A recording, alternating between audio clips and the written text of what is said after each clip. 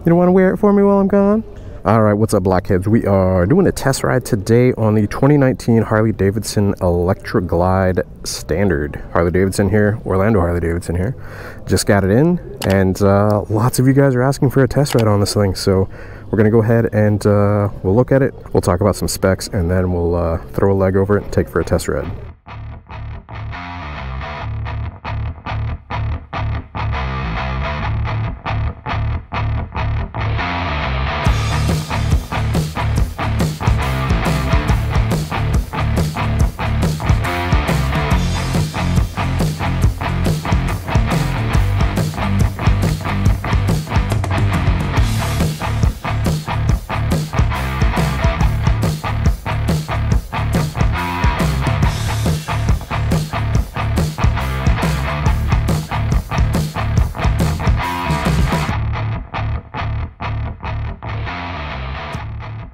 Right, taking a look at the new 2019 Harley Davidson Electra Glide Standard. Comes in starting at $18,999 MSRP. It may vary by dealer. Just to quickly go over the specs before we take a test ride, it only comes in one color option, Vivid Black. It does have ABS as an option, does not come with it standard though, and adding ABS is going to be 795. Security system option is standard, cruise control is standard. Looking at the engine, it is a Milwaukee 8107 1000 1,746 cc's. It is electronically fuel injected. It has a chrome 2 to 1 to 2 dual exhaust with tapered mufflers. Overall length of the bike is 94.5 inches. The seat height is 26.8 inches. It has a 4.9 inch ground clearance, a 26 degree rake. The trail is 6.7 inches. The wheelbase is 64 inches. The front tires are a 130 80 17 and the rear is a 180 65 16. Fuel capacity is 6 gallons. With the oil filter, it has a 5.2 quart oil capacity. Dry weight is 781 pounds. Wet weight is 820 pounds. Luggage capacity is going to be 2.3 cubic feet. In terms of performance from the engine, you're looking at 111 foot-pounds of torque at 3,250 RPM. Right lean angle is going to be 31 degrees and left lean angle is going to be 29 degrees. Regarding fuel economy, it sets at 43 miles per gallon. And for the brakes, it has 32 millimeter four piston fixed front and rear and dual disc on the front. So cool thing, it's got this little cutout here. You can throw stuff in, so I already threw my sunglasses in there. Heatwave visuals, if you guys want a pair of those, you can get 10% off of those by using coupon code Do It With Dan. All right. Let's get out of the parking lot here well, into the parking lot. I'm gonna go over controls here real quick. As per normal. Hey, if you guys like videos like this, test ride videos, be sure to hit that subscribe button, hit that bell icon also so it sends you notifications of future uploads and activity. Do all sorts of test rides. I think I've got test rides on like a hundred motorcycles. It's pretty crazy. All right, so pretty traditional Harley controls here, guys. You've got uh, basically your lock here, ignition, fork lock, accessory, on off kill switch. Then you've got hazards. You press those indicators there. Press them and turns them off. Starter, right indicator, left indicator on the left side, horn. Damn, that's a loud horn. you got your high beam indicator there, and then back down to low, and then your pass light, which if you press and hold in, it's basically like flashing they call it a pass light. And then you have your cruise control down here. You've got your fuel level, so we got a quarter quarter tank of fuel about. Speedometer, so your miles per hour, and then you've got your little display down there, currently displaying odometer. Uh, you also have a button here where your trigger finger is, you know, for the selection. So that's going to change that. So if I basically pull it in, it changes it to trip A, trip B, remaining mileage. So that's how much mileage you have left until you are empty, no more gas. You've got the time, which is currently military time, 1714 and then back to odometer. Over here, you've got more indicators. You've also got your RPMs and then your voltmeter for your battery. Pretty much it, pretty standard stuff. Does have self-canceling blinkers. Thing to note about this bike is they've basically cut it way down so that it brings the price way down so it's much more affordable, right? So you don't have your fancy, you know, touch screen here. You actually don't have speakers here. These are just covers, so no speakers there, but you can easily add all this stuff if you want to. So you can use that as a storage. You also have this little area has like some storage. It looks like there's supposed to be a plug back there for something. Um, and then you've also got a little plug right here as well. So on this one, you've got basically like the aluminum upper rocker box covers, the aluminum side covers, instead of chrome. They've taken tons of stuff off of it. You don't have a, a heel shifter, you only have the toe shifter. And then on the back, you don't have the passenger pegs. You don't have the uh, rear dressing stuff for like the lights and all that. They've uh, basically taken a ton off of this bike in order to greatly lower the price if you guys are looking for a more affordable touring option from Harley Davidson. Another thing they took off was this little this little ability to open and close this vent right here. It's just open. You don't have the ability to close that. In my opinion, I think it's a really smart move because it basically gives you different levels of motorcycle. You know, it's like they're all very similar. So this one has the 107 cubic inch, but if you're not looking for, you know, like the radio, but you want the touring, you know, you're not looking for all the fancy, like, you know, touchscreen and all that stuff, this is a great answer. Thousands of dollars less. And, uh, you know, me personally, like, I don't really use my, I don't even use my navigation in my truck.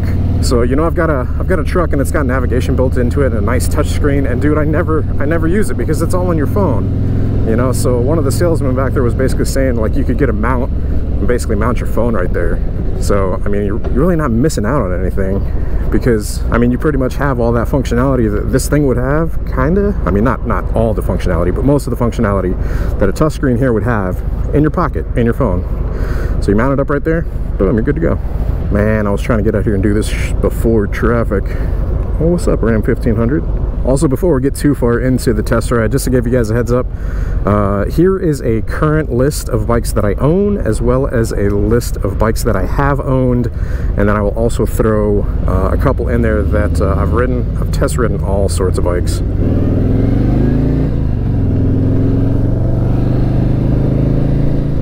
So, total transparency, I'm uh, I'm not the biggest fan of touring you know Harley's touring line just because it's not like something that that I buy. I currently own uh, the Harley Davidson FXDR which is about as far away as you can get from you know this style of motorcycle.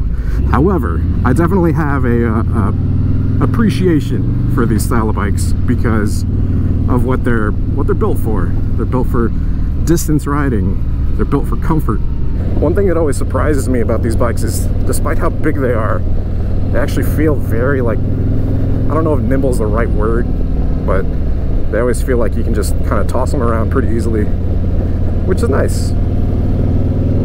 Especially like with the new Milwaukee 8s the new Milwaukee 8s have uh, they produce some good power so. Oh also on the bottom here which I just noticed you have a gear indicator so it says I'm in fourth right now if I downshift. Shows a three so I'm in third. Like this little reflection gives a good effect. Like whoa so in terms of ergonomics, Harley's touring line are traditionally more comfortable, right? So I am sitting upright. Braking feels good. So one thing this bike does not have is ABS. It's another one of those features that they removed from it to keep the cost down. So no ABS, but the braking does feel nice. Does have a dual disc front brake. Coming to a stop, that's where my feet sit. I'm five foot 10 inches tall and uh, it does not feel too tall or overwhelming at all. It's actually very comfortable. Also regarding the seat, talking about cutting back, right? They, uh, they give you a single, it's basically a solo seat instead of the seat with a, uh, a rear pillion, a passenger pillion. So if you want that, I mean, they basically strip this thing down and you can add what you want to it. You can customize it how you want. Instead of having to buy all the stuff on like say the Street Glide or the Road Glide or the Standard, you basically just pick out the Electra Glide Standard, boom, you have what you have what you want. I'm always really surprised by the uh, by the touring stuff and how good it feels. Oh man, one thing though, doesn't really allow that wind flow right here. So it gets a little stuffy in a full face, that's for sure.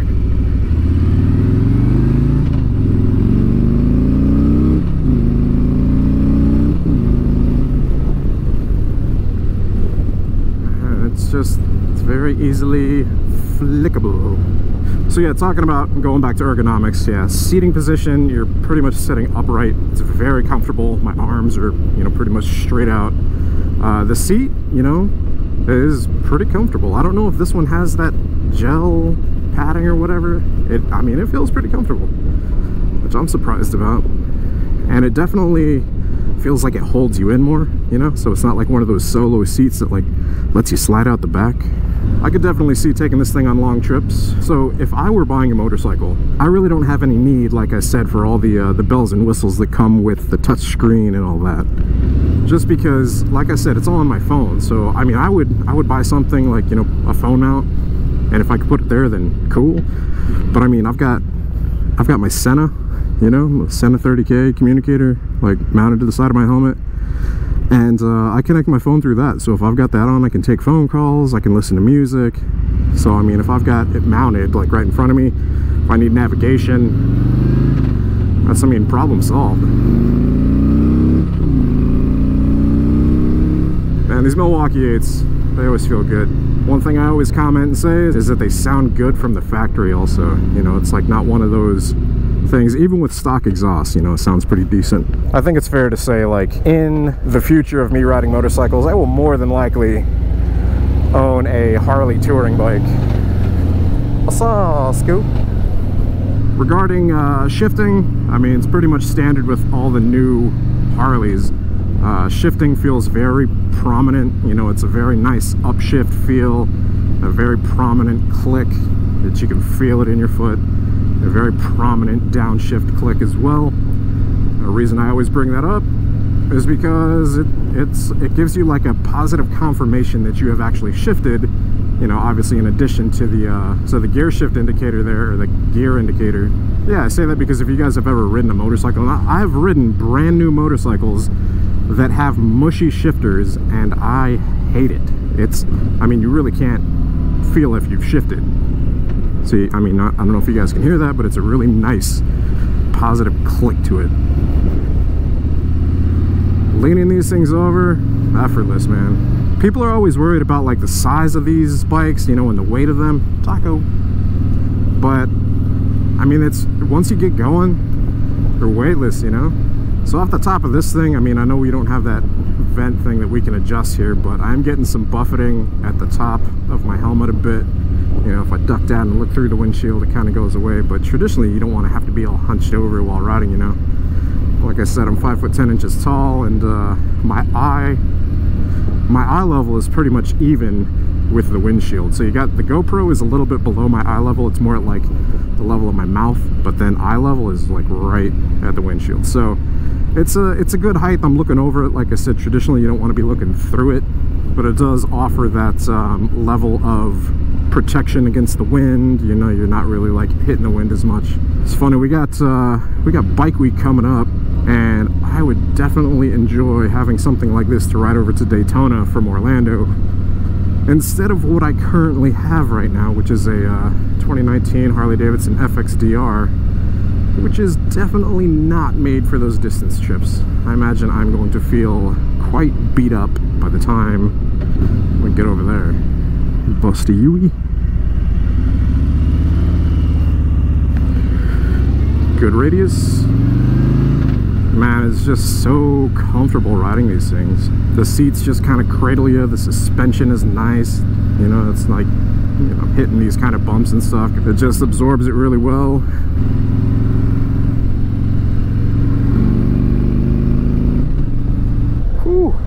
to stick my head up here to cool down. Jeez, you really don't get much wind back here.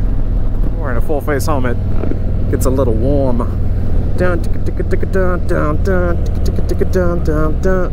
All right, let's take this turn. Not bad. All right, that one time I took it to Mexico was pretty fun.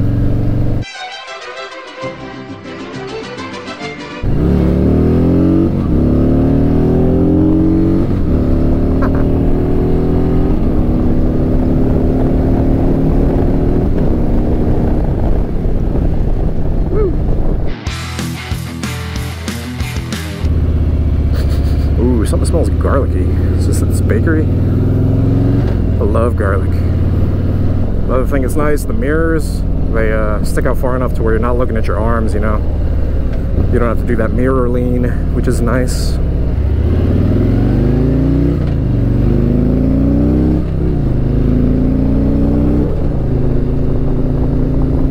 Yeah, so overall, I mean this, to me, I mean, it's, it's a good bike, it's comfy.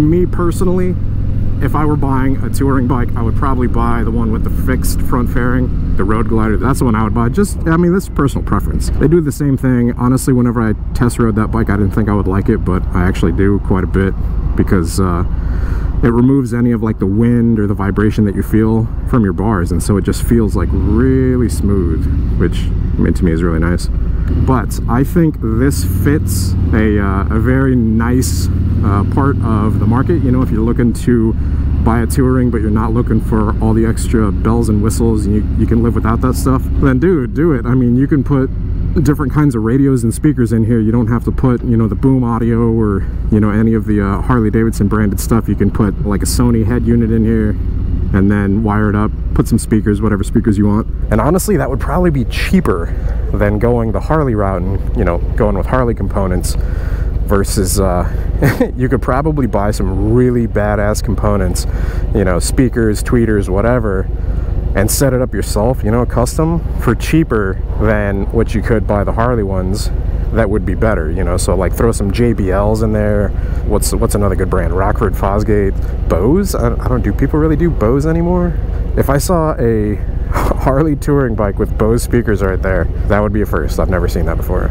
Pretty sure JBL is like you know one of those standards. So and then you can you know customize these switches if you want to put like um, some James Bond stuff on it you know you could wire that one up to spill some oil. If somebody's tailing you you could wire that one up to spill some uh, some nails and then wire up that one to do like an ejection seat over here. You could have your your weapons defense systems you know put a button there so that missiles like come out of your uh, out of your bags and lock on to you know a person in front of you.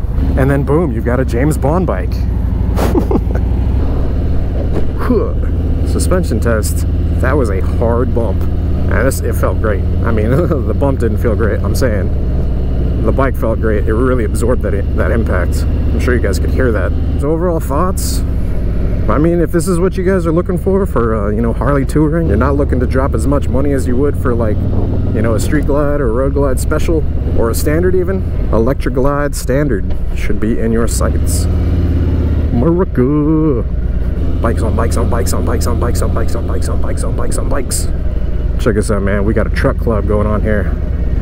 I got the babyest of them. Tacoma. Yeah, you're really able to maneuver this thing around. There we go. Park this thing for a second.